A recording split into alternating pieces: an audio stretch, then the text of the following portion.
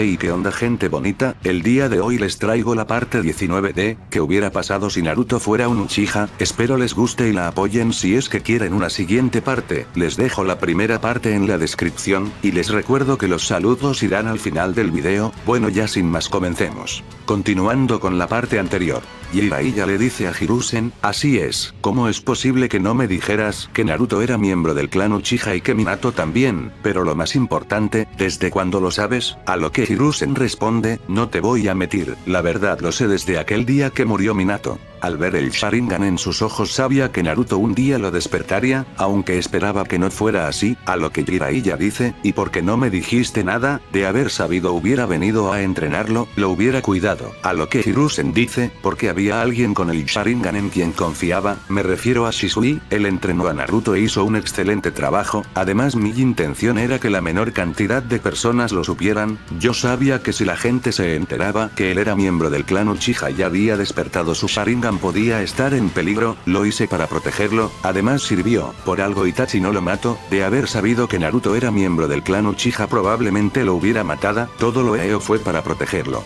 Jiraiya se sorprende al escuchar las palabras de su maestro, pero en ese momento recuerda que Kakashi había mencionado que Itachi sabía sobre Naruto y que debía haber un motivo por el cual no lo había matado, así que Jiraiya se queda pensando ya que no sabía si revelarle eso a su maestro Hirusen. Por otro lado Itachi estaba sentado en la orilla de un lago pensando en cómo estaría su hermano Sasuke y Naruto, además de recordando cuando vivía en Konoha y una lágrima sale de sus ojos. Pero en ese momento Kisame llega y dice, tú tan pensativo como siempre a veces quisiera saber qué es lo que hay en tu mente, seguro que estás imaginando formas de cómo matar a Alaguien, a lo que Itachi dice, para nada, ese es más tu estilo, a veces solo me gusta mirar el cielo, es tan tranquilo, a lo que Kisame dice, eres tan misterioso como siempre Itachi. Si no te conociera pensaría que es difícil creer que alguien como tú acabara con todo su clan, pero bueno creo que deberíamos seguir nuestro camino en lugar de perder más tiempo y así Itachi y Kisame siguen su camino en búsqueda de algún Biyuu.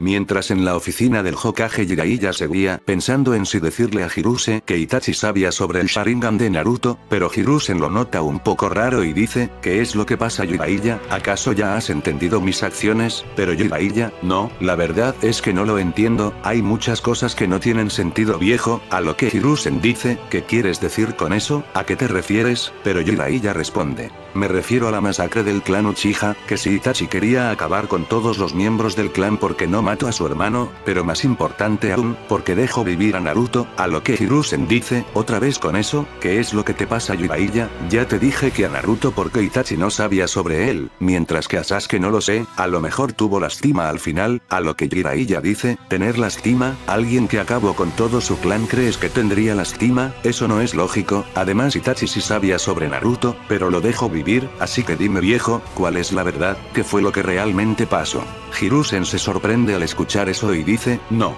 No sabía eso, la verdad desconocía que Itachi sabía sobre Naruto, ¿quién lo diría? Al parecer eso terminó siendo una pista, muy bien Jiraiya te contaré la verdad, pero no puedes hablar de esto con nadie me escuchaste, es imperativo que nadie se entere, muchos menos Naruto o Sasuke. Jiraiya se sorprende al escuchar eso y dice, sabes que puedes confiar viejo, pero acaso es tan grave el asunto, se puede ver en tu rostro, a lo que Hirusen dice, así, bueno el caso es que Itachi sí eliminó a todo el clan Uchiha, pero lo hizo para defender y proteger esta aldea y su paz, el clan Uchiha estaba planeando un golpea de estado lo cual hubiera desatado una guerra entre la aldea y el clan Uchiha, pero con tal de evitar una guerra y proteger a su hermano menor Itachi aceptó matar a los suyos y convertirse en un ninja criminal, esa es la verdad. Jiraiya no podía creer eso y dice, pero ¿cómo es posible? Porque no arreglaron las cosas de otra forma, estoy seguro de que pudo haber otra solución, a lo que Hirusen dice, ya no había otra opción, por meses intentamos arreglar las cosas, incluso Shisui Uchiha estaba listo para usar el Koto Amatsukami en su clan, pero por desgracia llegó su muerte antes de que pudiera hacerlo.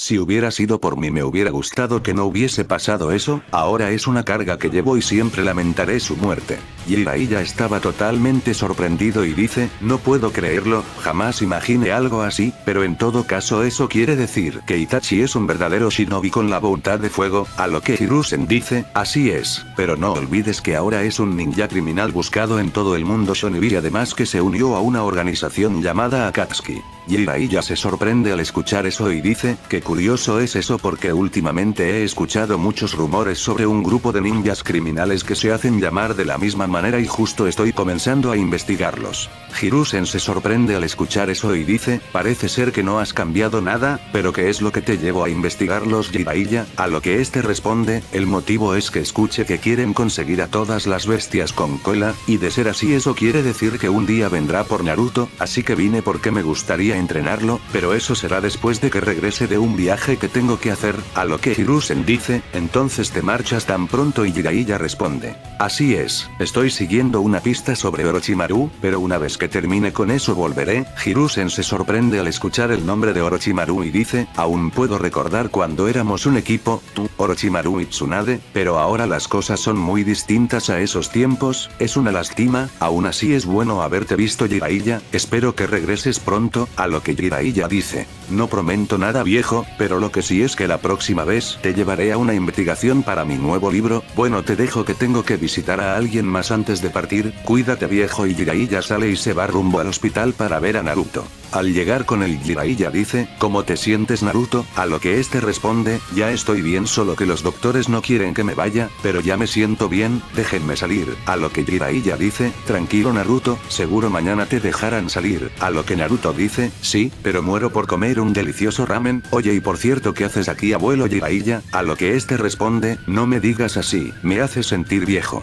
Pero bueno solo pase a despedirme, saldré en un misión, así que prepárate para cuando regrese, a lo que Naruto dice, ¿cómo es eso? ¿Tan rápido te vas? Acabo de conocerte, me gustaría platicar muchas cosas contigo, a lo que Jiraiya dice, Naruto no te pongas así, ya eres un ninja, además te dije que estuvieras listo para cuando regrese, a lo que Naruto dice, pero para qué tengo que estar listo. ¿Qué pasará cuando regreses? A lo que Jiraiya dice, cuando regrese yo me encargaré de tu entrenamiento, si con mi entrenamiento tu padre Minato pudo llegar a convertirse en el cuarto Hokage, estoy seguro que también hará algo bueno contigo. Naruto se sorprende al escuchar eso y dice, ¿es en serio? Eso sería lo mejor abuelo, digo Jiraiya sensei, estaré listo para ese momento no puedo esperar más, qué emoción. Así con esas como últimas palabras Jiraiya se marcha y ya cuando iba rumbo a la puerta de la aldea para irse se encuentra con Kakashi y dice, qué bueno que te encuentro Kakashi, sabes con respecto a lo de Itachi quédate tranquilo yo me encargaré, pero hay una cosa que quiero pedirte.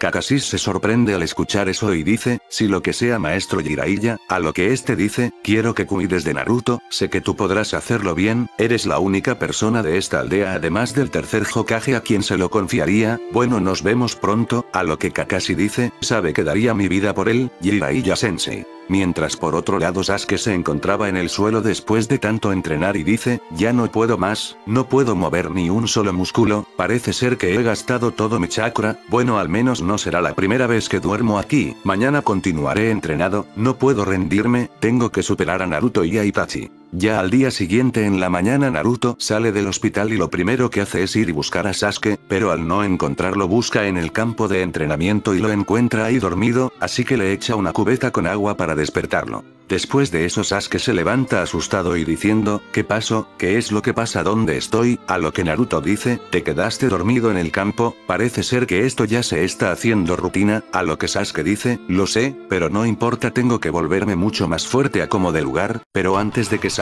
pudiera determinar de hablar llega una ave con un mensaje de Kakashi el cual decía, chicos nos vemos en 30 minutos en el puente para comenzar las misiones del día de hoy. Ya después de eso Sasuke y Naruto comen y se van rumbo al puente y al llegar encuentra a Sakura la cual ya estaba ahí y dice, vaya hasta que llegan, solo espero esta ocasión Kakashi sensei no llegue tarde como siempre, pero Naruto dice, yo solo espero no nos pongan las mismas misiones de siempre, son tan fáciles y aburridas, quiero una verdadera misión y esta no aceptaré un no. Bueno eso es todo por este video, si quieres una siguiente parte no olvides dejar tu like y comentar. Te dejo la primera parte en la descripción por si no la has visto para que vayas y la cheques, así como mi Instagram y Twitter para que vayas y me sigas. Bueno y ahora quisiera mandar saludos para Rubén Vázquez, Baymax, Alberto Ramírez, Steven Montañez, Eduardo Sosa, Santiago Fernández, Dani Velázquez, el NPZ. En el siguiente video vendrán más saludos, así que si quieres uno no olvides pedirlo. Bueno espero les haya gustado el video, si fue así no olviden apoyarlo y compartirlo para que más gente pueda verlo, si eres nuevo te invito